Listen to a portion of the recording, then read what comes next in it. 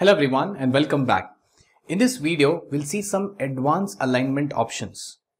Advanced alignment options usually आपको front end में नहीं दिखेंगे आपको back end में जाना पड़ेगा ठीक है बैक एंड में जाने के लिए ये छोटा सा एक बटन है ये देखिए when you click on this button here और डायलॉग बॉक्स ओपन्स जिसका नाम है फॉर्मेट सेल्स अगर आपको कभी याद नहीं आता है तो you can always press control one from a keyboard control one से ही आपका डायलॉग बॉक्स ओपन हो जाएगा अगर वो भी याद नहीं होता है तो आप राइट क्लिक कर सकते हैं किसी भी सेल के अंदर and you can click on format cells तो उस सेल के रिलेटेड सारी फॉर्मेटिंग आप कर सकते हैं, ठीक है? तो फॉर्मेट सेल्स भी यही ओपन करेगा।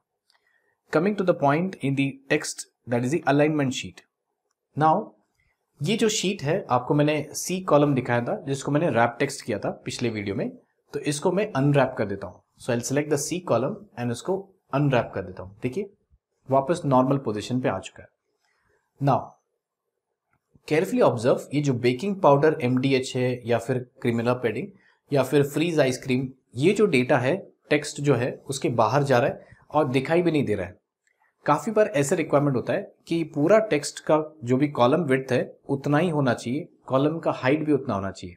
तो try to adjust the size of text कि वो पूरा दिखना चाहिए। भले उसका साइज़ कम करना पड़े या छोटा करना पड़े तो यू कैन डू दिस तो व्हाट इज़ द मेथड ये जो डेटा है 150 ग्राम 150 ग्राम भी दिखना चाहिए तो इसका आप साइज़ कम कर सकते हैं। लेकिन एक एक सेल का साइज़ कम करना is not a good idea what you can do is select the C column okay, select the C column, and I can click on advanced format option, that is the format cells. यहाँ पे देखिए एक option है shrink to fit shrink to fit by the way ये option तो आपको पता है text alignment horizontal vertical orientation ये मैं आपको बताऊँगा। बट यहाँ पे देखिए shrink to fit when you click on okay ये टेक्स्ट श्रिंक हो जाएगा फिट होने के लिए। जितना पॉसिबल कम साइज़ हो सकता है। So when I click on okay देखिए 150 ग्राम भी दिख रहा है और बाकी जो टेक्स्ट है वो भी दिख रहा है। इसकी खासियत ये, जिसका साइज़ है फॉर एग्ज़ाम्पल वो नॉर्मल साइज़ रहेगा कॉर्नफ्लावर का, और जो बाकी सेल्स है, उसका वो फिट करने की कोशिश करेगा। उसका साइज़ वो कम कर देगा। तो देखिए, सारा टेक्स्ट इज़ विजिबल जहाँ जहाँ पे चाहिए, वो बड़ा रखा है और बाकी छोटा कर दिया सेम वे अगर आपको ये ऑप्शन नहीं अच्छा लगता है तो you can go back and deselect this option वो निकल जाएगा उसमें, ठीक है? बाकी सारे ऑप्शन तो हम लोगों ने ऑलरेडी देखा था, जैसे टेक्स्ट डायरेक्शन था horizontal direction vertical direction and यहाँ पे एक ओरिएंटेशन टॉपिक है, जो भी अभी मैं आपको दिखा देता हूँ।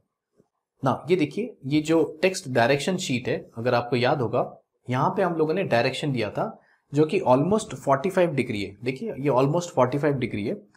अगर आपको इसको 30 डिग्री 20 डिग्री 15 डिग्रीज में चेंज करना है तो वो भी पॉसिबल है। कैसे? मैं इसका साइज़ बड़ा कर देता हूँ। And now I can keep my cursor in that cell and I can click on this font option यहाँ पे देखिए, ये जो डायरेक्शन ऑप्शन दिख रहा है आपको, ये 45 डिग्री दिखा रहा है। यहाँ पे लिखा हुआ है।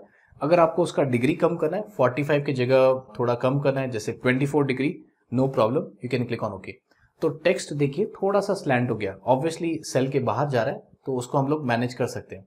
लेकिन again you can click on this option 24 को आप कम ज़्यादा कर सकते हैं और वो डायरेक्शन अपना चेंज कर लेगा। ठीक है? And I can click on okay इसको अगर थोड़ा सा मैनेज कर लेते हैं तो हो जाएगा। तो let me just change it लेकिन if I go back and I can just click on the font option वापस इसको मैं 45 डिग्री पे लेके जाता हूँ। तो this way you can change the direction of text which is possible okay बेटा।